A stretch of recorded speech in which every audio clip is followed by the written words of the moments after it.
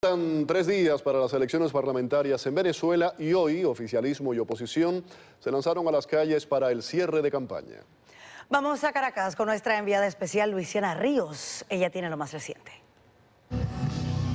Gracias amigos de América Noticias. Estoy en el cierre de campaña de la oposición y tienen hasta las 12 de la noche los candidatos para convencer al electorado a fin de ganar más votos para las elecciones de este domingo. Los afectos al oficialismo tomaron desde temprano las calles del centro de Caracas y tal vez porque fueron muy pocos quienes se congregaron para apoyar al chavismo y a sus candidatos, el presidente Nicolás Maduro les advirtió. Ustedes el domingo dicen si seguimos avanzando o nos vamos al precipicio. Y es que el clima electoral que se respiraba era muy frío y desesperanzador, hasta para algunos chavistas, quienes reconocieron una vez más la escasez. Los productos que siempre hemos tenido, pues. ¿Cómo cuáles? Bueno, imagínate.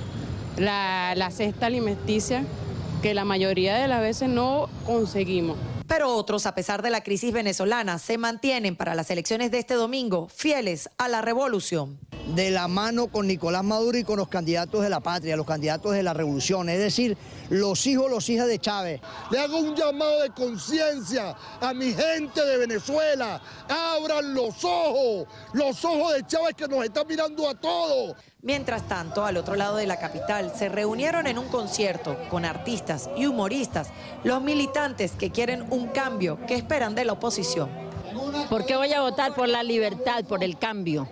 Es lo más importante, porque se terminen las colas, porque haya progreso. Para... Aquí no se puede seguir haciendo cola, queriendo comprar lo que uno no quiere, sino obligado.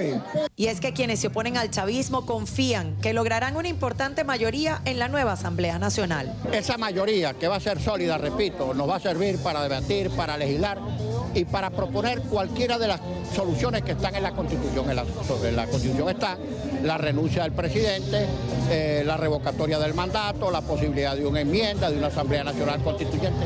Bueno, las cartas están echadas, ya será la próxima medición este domingo en las urnas electorales, cuando Venezuela se juega su futuro, al decidir quiénes van a ser las personas que van a legislar por los próximos años. Soy Luisiana Ríos para América Noticias desde Caracas, Venezuela.